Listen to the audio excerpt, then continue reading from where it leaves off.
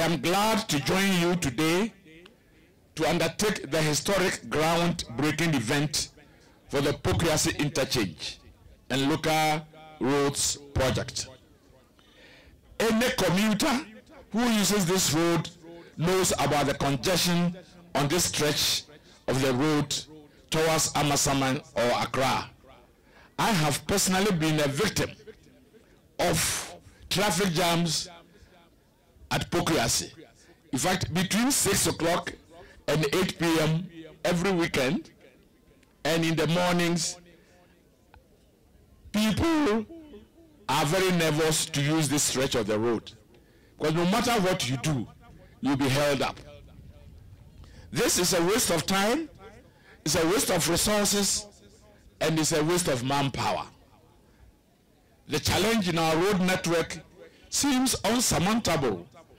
We see everywhere we go that people are asking for new roads, for better roads, for new bridges, for better interchanges, etc. I can assure you that we are determined to provide this rather important infrastructure. As you heard from the country director of the African Development Bank, the arrangements to get this project was started in the previous government.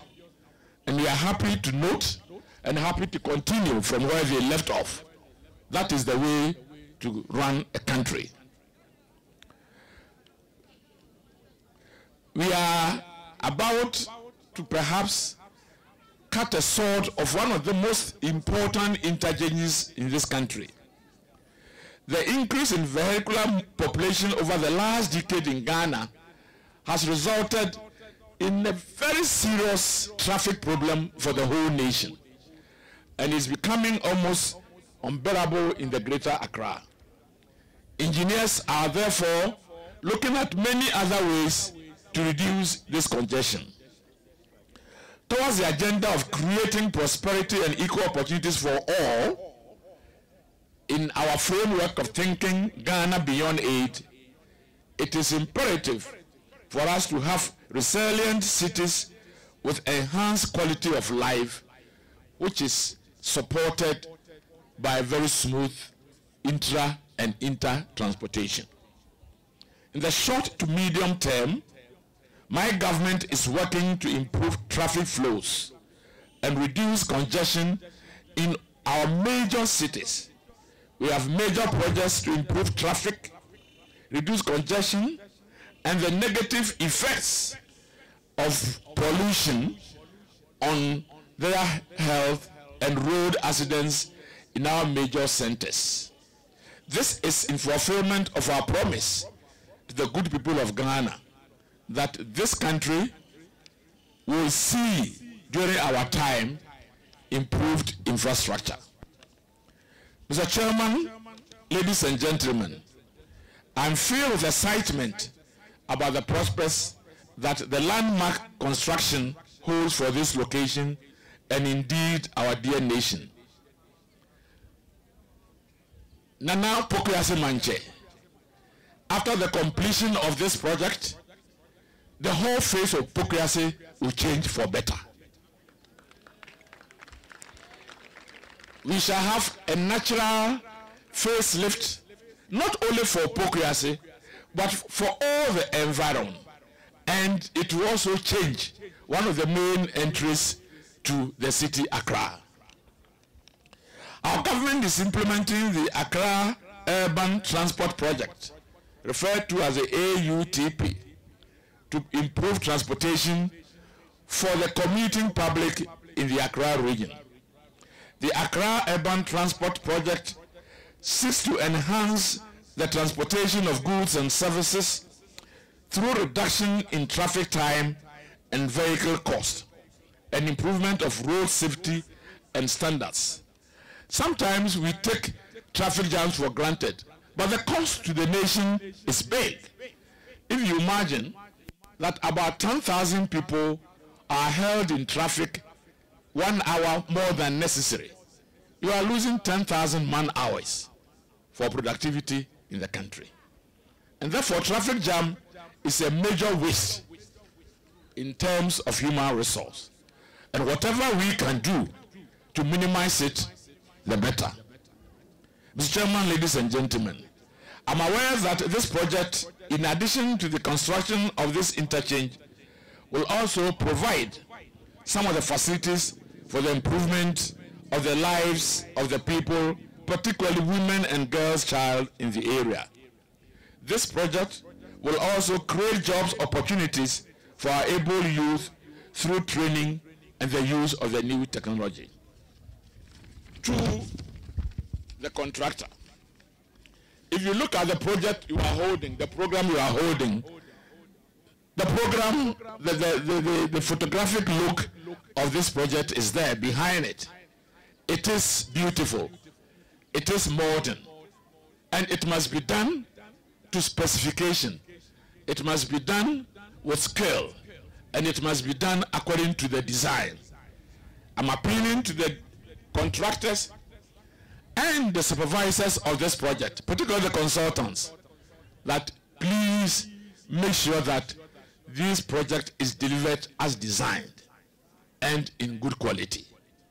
We shall not entertain any shoddy work on this project.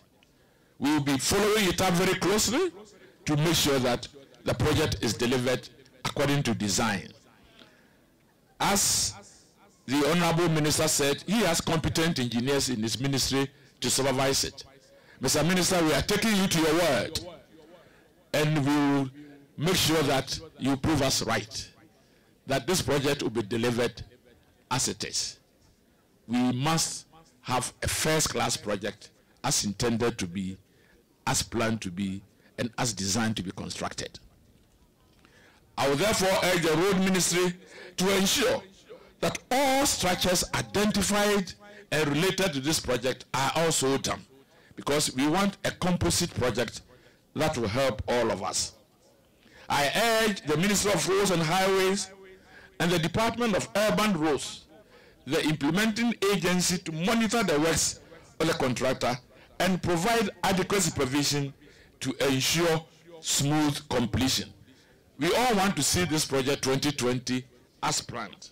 We don't want the situation where the issuer delay syndrome is sung and is announced. A project of this nature has also a very important adjunct.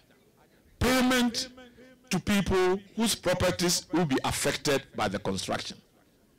Many times, something that is straight and simple becomes very odious and difficult.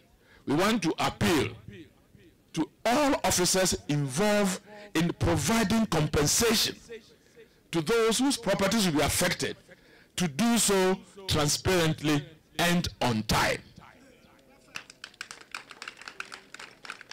To do so transparently and on time.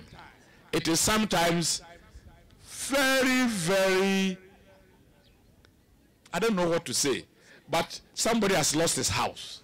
His house is pulled down in a project. Money has been allocated for him to be compensated. People run rings around him and he may end up getting only a portion of what is devoted for him. That kind of business must stop. People should get what they are entitled to and should get it on time. Distinguished ladies and gentlemen, this is a very important project.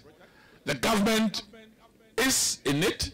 The government is going to support it fully for completion. It's being funded by the African Development Bank, and I would say on this occasion, thank you very much, African Development Bank, for this courtesy.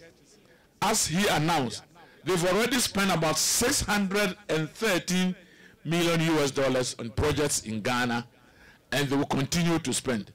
We appeal to you, we, we, we going by the Oliver Twist theory, asking for more. We have many more projects, and I'm happy that you are associated with the Eastern Corridor project.